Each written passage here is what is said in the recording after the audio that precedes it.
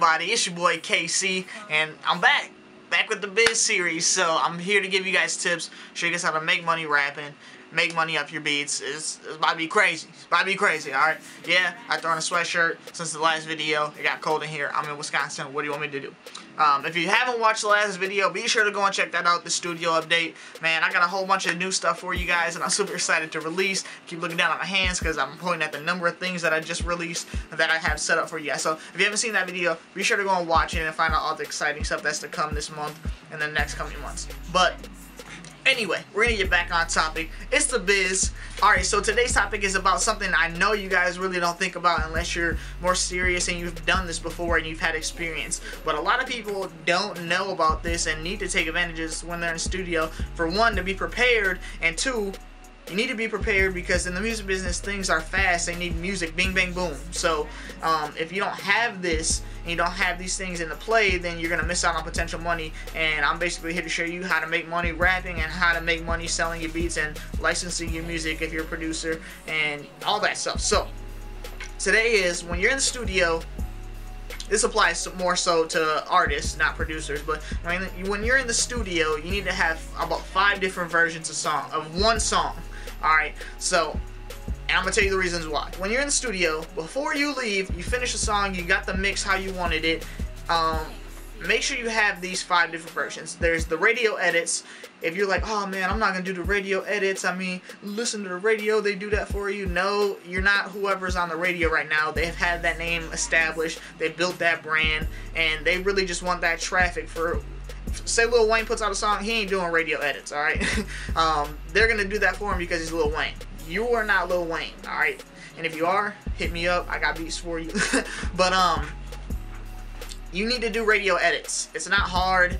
Even if you, when you're in the writing process, even if you want to think of different words that you can put in there in place of the swear words, clean it up, get yourself ready for the radio. That's where you're gonna be making royalties. So if you want to get on the radio, you have to have a radio edit version. And if you're gonna submit music to a, a, radio station and it's not edited, they're gonna ask for the edited version.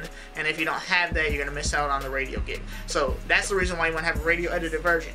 Version two is you want an instrumental version. Why do you want an instrumental version? Is because instrumentals work perfectly for commercials. Okay, so a lot of the times you hear I heard the Eminem one with the the car. I don't remember what car dealership, not car manufacturer, pardon me, use the dun dun dun dun dun dun dun dun dun dun dun. They use Eminems, and that's all instrumental until the end, and then Eminem starts rapping. But you're gonna need the instrumental version, so just have the engineer mute all the vocals and then export it.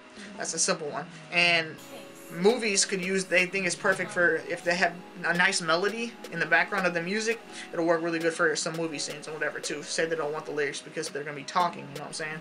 Um, it's gonna interfere. So you want an instrumental version. So again have them mute the vocals out export it. It's not hard to do the third version that you want is a vocal well the third and fourth i should say is vocals up and vocals down so if you're submitting music to a label or if you're on a label, typically labels would want the vocals up louder than the music. They're gonna say, keep turning up the vocals to the mix engineer. And you're the mix engineer is like, the dude, the vocals are perfect. Don't don't tell me what to do. Um, for one, it's really good for that. You're making the label happy, and if they ask for it, they have it basically. Um, and say you're licensing your music for a commercial, and you say a word that correlates with their commercial, right? They're gonna want those vocals up prominent because that's what the whole ad is talking about. So you want the vocals up for that. Um, vocals down is if you want to submit it to a commercial and say you are rapping or singing or doing whatever you do on a song, but they still want to have a voiceover. They don't want the the perfect volume. They, they want the vocal there for the voiceover, and they don't want your vocal to be conflicting with the voiceover. So you want vocals down, and you want to do about 3 dB. That's when you really notice the difference. Um, in the vocal volume, in, in any volume, uh, if you do engineering. So just turn the engineer, tell the engineer you want a vocal up version, a vocal down version, and he should know what that is. And if he doesn't know, just say, can you turn the vocals about between 2 and 3 dB, and you should be set for that. So that's one through four already, and then the fifth one is an acapella version. So say you start doing shows, right? You're gonna have to send the instrumental version to the to the DJ, and then the vocal version, so he can do the chops and edits and the cool things that DJs do, and basically you'll be all set. And when you're in the studio, you get it done there. It's less of a headache. Then you don't have to leave, hit him up, say he's on the go, say he's busy. I know I'm super busy, so when people hit me up like, "Yo, can you send this track?"